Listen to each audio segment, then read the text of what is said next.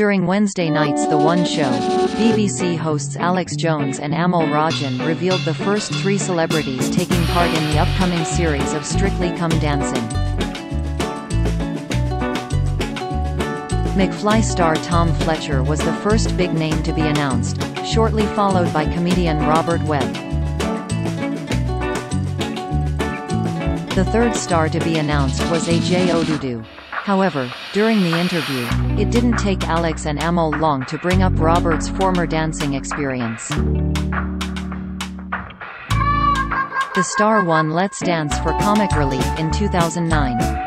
It's exciting but with a slight undertone of quivering terror. The comedian admitted to the hosts when asked about how he was feeling. Did I ever expect to hear those words? No, I don't think I did. I think you did, Alex chipped in. Psychoanalyzing you, Robert replied. It was fated. It was always going to happen.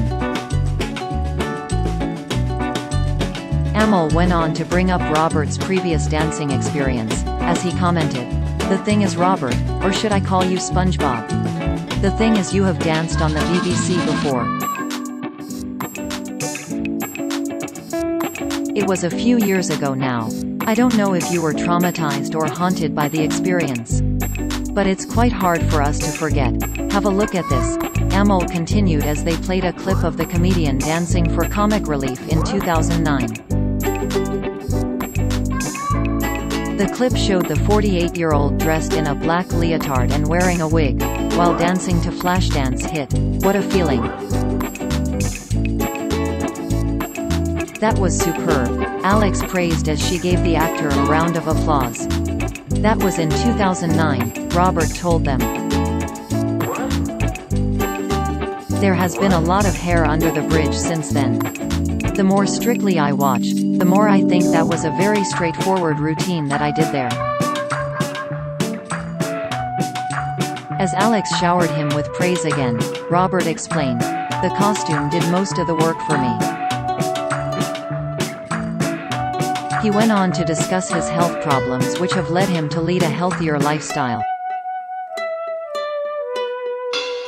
Alex asked him whether taking part in Strictly was a reason for that, in which he replied, I am mainly in it for the cossies, costumes.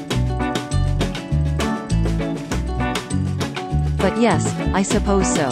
I guess you get to a point in life where you think this is no time to be cool. And yes, these experiences don't come along every five minutes, so it would be rude not to. Trending following Robert's reveal.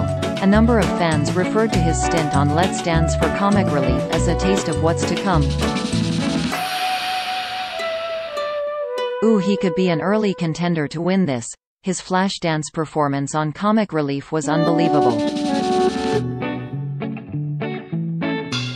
Hashtag Strictly, said one fan on Twitter.